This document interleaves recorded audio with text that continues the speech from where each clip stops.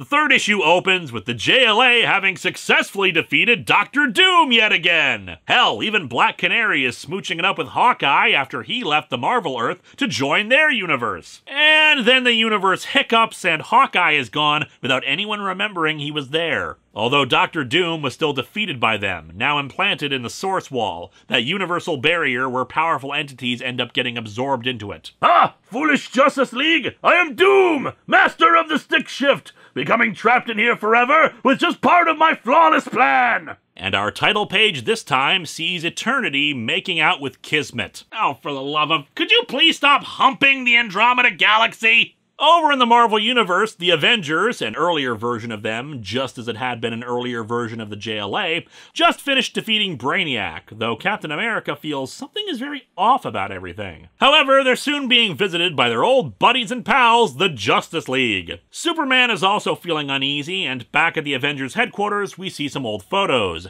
including an homage to when the JSA and JLA first met, only now it's the Avengers meeting the Justice League. As Cap once again starts thinking everything is wrong, the universe once again hiccups. Now they're on the JLA satellite, even the team members have changed around to different eras for their respective sides. Our annual get together with the JLA is at their satellite this year, and Ralph and I decided we should have a luau theme. Man, nothing would make me happier than if the rest of this comic was just a massive luau party between the Avengers and JLA. I don't even care about the plot anymore. This is just hilarious. I mean, look at it. Even Batman is wearing a lei. I'm Batman and I'm gonna limbo you under the table, Captain America! Hell, there's even an arm wrestling competition between Wonder Woman and Wonder Man. This is the most ingenious comic ever made, and I am so sad that it doesn't last. Because, of course, every party needs a pooper, and now it's Superman, who really knows something's wrong. Reality warps again, bringing everyone to yet another party, this time at Avengers Mansion, but this time Cap has retained his faculties enough to see how things are changing. Despite the efforts of the people around him to try to remember team ups between the two, eventually both Superman and Cap just see each other and start arguing, accusing the other of causing all this until they finally come to blows. However, as soon as they try to punch each other, the universe shatters, reverting everything into a strange, post apocalyptic, wintry setting of a devastated city. Vision and Aquaman are the first to find each other, though things are still not as they should be. At this point, Aquaman had a hook for one hand, but here both are fine, and indeed their memories are clouded. Discovering the Daily Planet building in ruins, they figure they're in Metropolis, but they're still not sure what's going on. How did this happen? Why? Geez, the luau must have really gotten out of hand! The two are attacked by a group of supervillains from both worlds who claim that their master wants them dead. Fortunately, the two are saved by Captain America, the Hal Jordan Green Lantern, and a few others. Thor thinks they can track down the person responsible for this, since the villains were touched by the power of this master, and we soon see that things are no better on the Marvel Earth, where instead of a snowy wasteland, it's fire, lava, and earthquakes threatening people. Once more, the respective Avengers and JLA members have put aside their differences to help people and try to track track down the source of the quakes. Some of the civilians are clearly from the DC Earth, meaning people are crossing over between each world. Snow starts to fall as a swirl of green and blue fills the sky, and many more civilians start appearing in a ghostly form. The Martian Manhunter tries to read the minds of the ghosts to figure out what's happening, but then vanishes, many of the ghosts appearing in the flesh. Back in Metropolis, we soon see what's going on. Civilians from the DC Earth are being transported over, though the Martian Manhunter soon appears again. The strange storm is linking the two worlds, and he's able to telepathically contact the heroes back on Marvel's Earth to try to coordinate things. When the Flash, who is now Barry Allen, spots a newspaper on Marvel's Earth, things get even weirder. It's an issue of the Daily Planet where Clark Kent had an interview with Spider Man. So, Spidey, rumor has it you have a lot of clones. How would you compare this to, say, the amount of clones that Superman has? The two sides discover a rift in the middle of everything that's shaped like Krona's face. Their memories start returning, and unfortunately, that means Superman and Cap start yelling at each other again. Finally, Wonder Woman and Wasp tell them to get their heads out of their asses and work together to save the civilians in both worlds. The two, of course, realize that they're right and figure their only chance of solving this is finding the Grandmaster. The storm starts intensifying, and Superman and Iron Man fly up to try to figure out what's going on. Superman's telescopic and X ray vision are able to see points all around the Earth where the two worlds are merging together. However, as indicated earlier, the two Earths are not the same size, meaning places are merging without respect to their relative locations. And once they arrive in orbit, they spot something even more terrifying both Earths slowly being pushed together by giant spectral hands. It, it's not even possible! I can't be seeing this! I just can't! You're not. Not literally. It's our minds trying to comprehend, to process what we're witnessing in a way we can grasp. It's a good thing we'll never see literal hands pushing multiple Earths together any other time in our lives, and certainly not during Event Comics Month 2. I mean, that would just be kind of goofy. The heroes are able to combine their power and disrupt the rift enough to push the Earths apart. Everyone gets shunted back to their own realities, but it's only a brief respite. The two universes are still merging together, and soon the JLA are teleporting into the Marvel Universe again to join forces. Before the two teams can head to the Savage Land again to try to track the Grandmaster, a new figure arrives to speed the process along the Phantom Stranger. I can't recall if I've ever talked about the Phantom Stranger before, more or less a very mysterious character in the DCU whose origins have always remained a mystery, though several different ideas were put forth about him, from being a fallen angel, to being the wandering Jew, to even just a scientist stuck in a time loop. In any event, he's powerful, but mostly just travels around guiding people and providing exposition and whatnot. The new 52 made him into Judas Iscariot. It's an okay idea, but not really relevant here. What is relevant is that he takes the two teams to the Grandmaster, who's not exactly in grand shape. Well, Krona, I gotta say, I'm proud of you. This has been a huge success. Yay, us! Pat on the back. Pat on the back. Can't destroy a universe without smashing a defender of it, so, uh, you're welcome. And, uh, it's a tie. The Grandmaster explains what his long game was. He's been trying to merge the universes together and trap Krona between them, hence why there were so many crossovers between the two universes at the start of the story. The artifacts were needed to complete the job, with the idea being that Krona wouldn't destroy universes if his fate was tied to them. Problem is, the universes are just completely incompatible. They're overloading each other and screwing with everything. Not just the crossing over, but it's affecting time, their memories, even their attitudes. That's why Cap and Superman have been so inclined to hate each other. The merging has been screwing with their heads this whole time. Although I love their facial reactions when they hear that news. Yeah, sure. Give me five minutes with this guy, and he'll be the one screaming to save Martha. Yeah, sure. Give me five minutes with this guy, and he'll be the one who turns into a werewolf. Wow, that actually happened that one time, didn't it?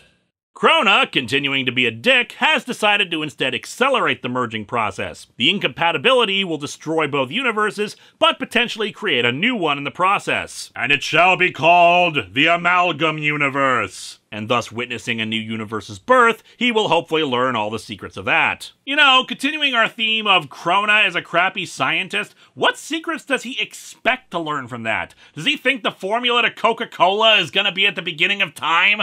Wonder Woman asks why the hell he can't just separate the universes again if he could combine them to begin with, but, well, look at him. He looks like the only thing he's going to be separated from is his dignity when he can't reach the bathroom in his current state. But yeah, he's been too weakened by the fight. However, he is still strong enough to restore everyone's memories to where they should be, and unfortunately, that shows them everything. Remember, their memories are scrambled right now, and their current state is the one they were in from the 70s and 80s. As a result, characters like Barry Allen are seeing themselves dying during the crisis, Hal Jordan becoming evil, the Scarlet Witch losing her children, and even Captain America and that goofy ass armor he wore briefly. The Grandmaster seems to die after that, and the heroes are left uncertain what to do. They saw dark stuff in their own future, and some wonder if they can try to undo some of the terrible things they've done instead of just stop Krona.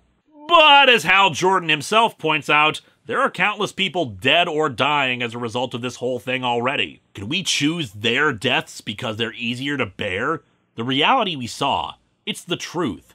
Good, bad, love, pain, it's real. It's the one we're pledged to protect, not not to play God with. Or just throwing this out there, Hal, you could reboot the universe to try to undo stuff while learning nothing, or make deals with Satan to undo plot points you're not fond of instead of addressing them and having genuine character development. Everybody raise your hand for makes it easy. Now, of course, Superman and Captain America shake hands and everyone throws their fists in the air, ending book three with their proclamation that they're gonna take on Krona together. Also, Metron is watching this on his giant ass TV because, again, Metron is the smartest of the new gods. Book 4 opens with Krona relaying his discoveries to Metron, the history of Galactus and how he was the last survivor of an old universe, reborn into the Marvel one by a voice claiming to be the sentience of the universe. Combined with, of course, the image of a hand creating the DCU, and Krona now truly knows that there is some kind of consciousness deep in the fabric of existence itself. His plan now is to force the animating spirits of the universe out so he can learn all their secrets. And then maybe he'll publish a paper on it and get caught up on everything that was recorded on his TiVo. Like Judas Traveler, Krona is one of those characters who think knowledge in and of itself is a goal and can't see how utterly pointless it is if you can't do anything with that knowledge. I mean, even now he's expositing all this to Metron. He needs an audience to listen to his mad ramblings and can't be content with just knowing it. On both Earths, things continue to go haywire. Time itself is still fluctuating as we see heroes from different eras interacting with one another. I'm less familiar with the Marvel side, but on the DC side, side, we see members of two different Teen Titans teams the new Teen Titans and the 90s Dan Jurgens one interacting and saving people. Over at the JLA Lunar headquarters, they start making their plans. As we saw with the villains in the previous issue, Krona has the ability to mentally enthrall people to his will, so he's likely to have an entire army of villains waiting to defend him.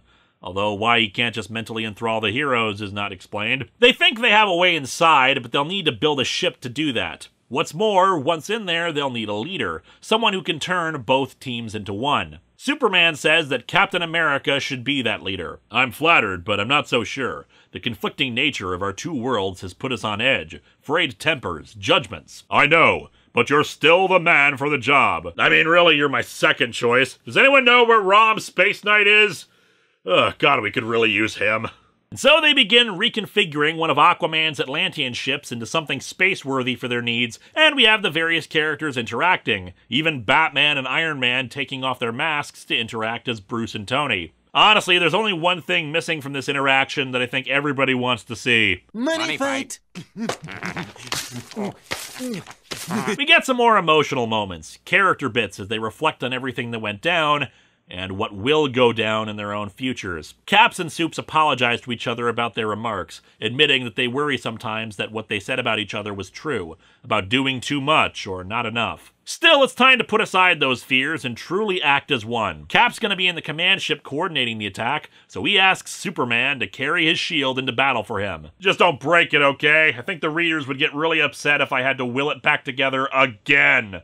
With the combined technology and magic that both teams offer, they're able to travel into Krona's stronghold which he built out of the remains of Galactus because Krona's kind of a dick, in case you hadn't noticed. The first wave of defenses comes from the two universes' various terrorist organizations AIM, Hydra, Cobra, not the G.I. Joe one, DC has their own version, all that jazz. However, of course, while the ship proceeds in its path, a group of heavy hitters are sent out to deal with the troops. And now let the cry ring out! Let it shake the ground and rock the firmament above! That Krona shall know we come for him! Come, Superman! Let's do get help! And so GL, Batman, Wondy, Superman, and Scarlet Witch yell out, Avengers Assemble! And Justice League, uh, Lambast! Thanks, Wasp! You really added a lot with that. So, more fighting and stuff, with Cap sending out orders to everyone and how to coordinate the battle. And where can I get one of these shields? It's fantastic! Man, I never realized how much I like hitting people with stuff! This is awesome! The temporal instability that was causing time to shift on Earth now hits them in the middle of the battle. Costumes and team members start shifting out, and at a bad time, too, since Krona has decided to up the ante by adding proper supervillains to the mix to start fighting our heroes. He's also finally located Eternity and Kismet, asking Metron to aid him in his interrogation, but Metron refuses. Krona reveals that it was Metron who originally led him to the Marvel Universe, saying that he should be happy to help him since they're both truth seekers. Metron, however, suggests that Krona isn't actually interested in getting answers, but rather conquest. What happens next I leave up to you, but I shall be watching. And believe me, I will be very interested in the outcome. I've got a $20 bet with Uatu the Watcher that you're gonna screw this up royal. As you may have noticed, I don't tend to recap fight scenes because well, there's only so many ways I can say they hit them or they hit back. And sadly, with a book like this, there's just so much going on, so much crammed into each panel that makes it look awesome. So forgive me if I'm skipping over a lot of this. As it goes on, it keeps showing alternate versions of characters as time shifts, more heroes and villains appearing and disappearing, fan servicey moments across the board, like Green Arrow taking up Hawkeye's quiver after it looks like he and the Flash are killed, Batman versus Batroc the Leper, and my personal favorite is Captain America versus Prometheus. You might recall Prometheus, the guy who has a special helmet that lets him upload skills into his brain to make him a better fighter. He's the villain from Cry for Justice. And Captain America beats his ass down while reminding us that he punched Hitler. So screw you, douchebag. Krona realizes that indeed it's conquest that he wants. He's just eternally pissed off that people keep preventing him from learning the answers he's seeking, so he wants everybody to pay for it. Krona, you blew up entire universes because you thought the origins of the universe were like reading someone's diary. Perhaps it's time to admit that you're the asshole. As Krona declares that he's going to destroy Eternity and Kismet as revenge for all this, Scarlet Witch starts pulling more heroes to the battle via chaos magic. And it just goes on and on and on until finally Superman reaches the last wall of Krona's defenses. He can't break through the force field until Thor tosses Mjolnir his way. Naturally, Soups is worthy. And of course, he smashes his way through but Krona himself now emerges and blasts everyone away, ready now to attack and kill the embodiments of both universes. He's equipped with some kind of giant red orb thingy that's apparently necessary for him to maintain his power, so how convenient then that the Flash and Hawkeye are actually alive, having laid low as per Cap's instructions, and toss a TNT arrow right into the big red globe and blowing it up. A maelstrom of energy is released and Krona gets sucked into it, reality beginning to reorder itself amidst all that. The JLA and Avengers who were present at the start of this return to normal, hastened along by the arrival of the Spectre,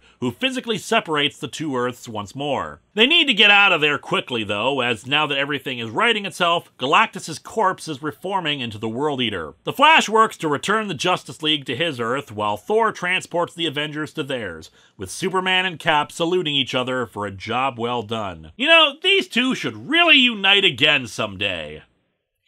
Hmm.